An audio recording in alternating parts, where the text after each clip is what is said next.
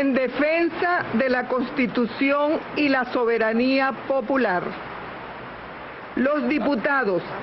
de la Unidad Democrática rechazamos la alteración del orden constitucional que se está produciendo en virtud de la negativa de la mayoría oficialista de la Asamblea Nacional, al permitir que el presidente de la Asamblea Nacional asuma como presidente encargado durante el lapso que transcurra entre el día de hoy, 10 de enero de 2013, fecha en que se inicia un nuevo periodo constitucional, y la fecha en que Hugo Chávez tome juramento como presidente de la República ante el Tribunal Supremo de Justicia quedando ellos sujetos a plazos del artículo 234 de la Constitución. La correspondiente sentencia de la Sala Constitucional del Tribunal Supremo de Justicia del día de ayer, 9 de enero del 2013, ha venido a consolidar esa alteración, afectando gravemente el orden democrático del Estado como consecuencia de esta sentencia, los venezolanos estaremos sometidos a funcionarios no elegidos que detentarán la función ejecutiva hasta que cese la causa sobrevenida que impide al presidente electo acudir el 10 de enero a la Asamblea Nacional. Sin existencia de plazo alguno, el Poder Ejecutivo Nacional quedará en manos del vicepresidente ejecutivo y otros funcionarios no elegidos por el voto popular, cuyo periodo de designación vencería además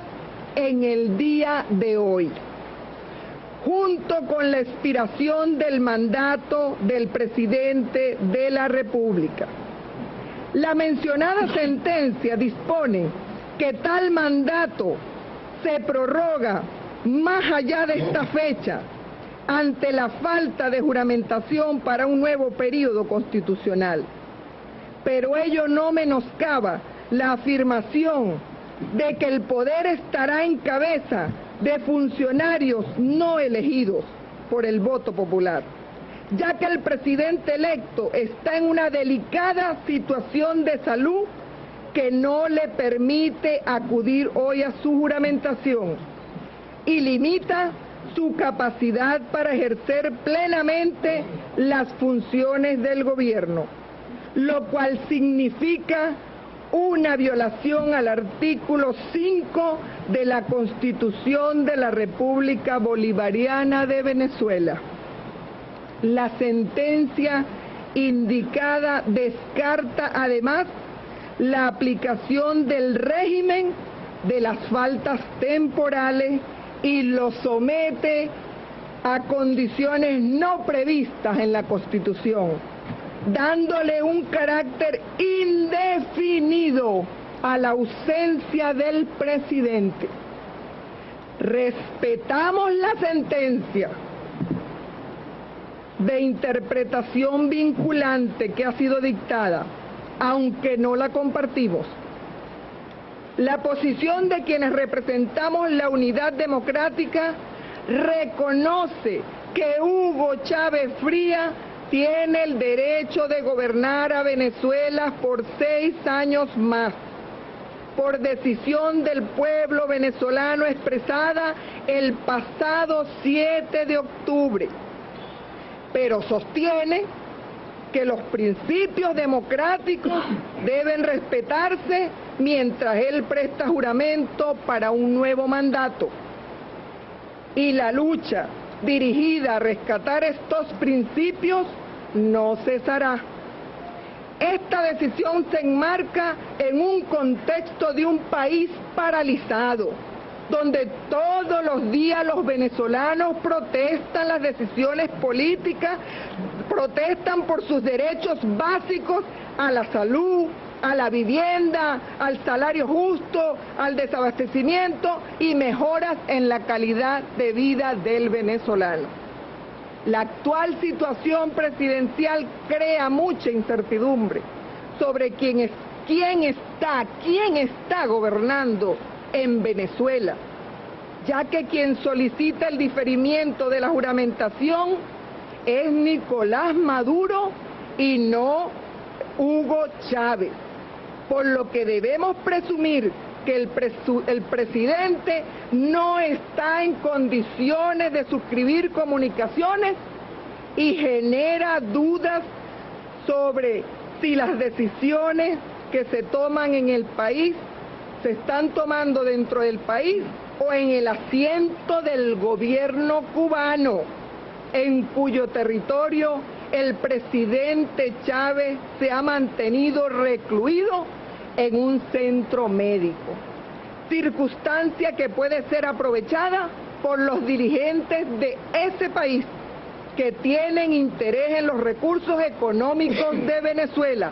para influir en las decisiones políticas que corresponde tomar a los venezolanos. En vista de que la unidad democrática está comprometida con la defensa de los derechos de todos los venezolanos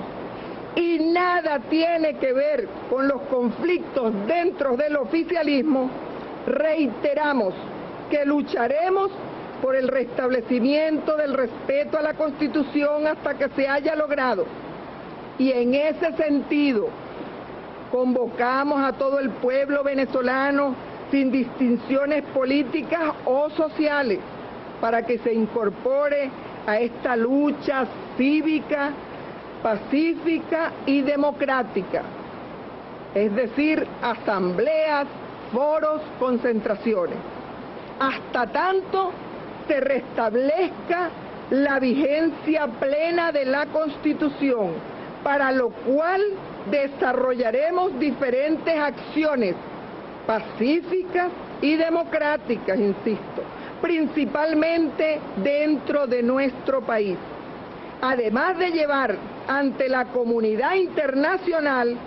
la denuncia del atropello a nuestra Constitución y a sus principios democráticos.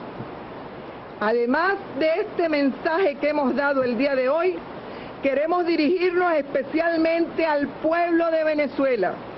y convocar al país entero a que este 23 de enero demos una demostración masiva de fuerza en las calles de Venezuela.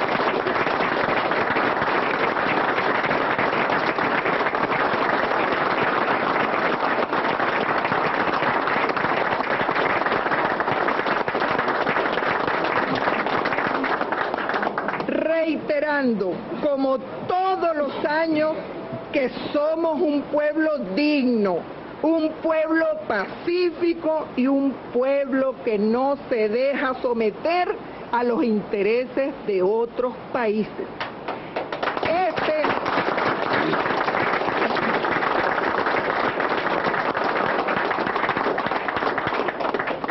Este 23 de enero, sin distinción política,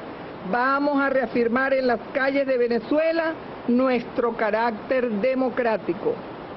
La unidad democrática se mantiene en la primera línea de la lucha por el respeto a los derechos de todos los venezolanos.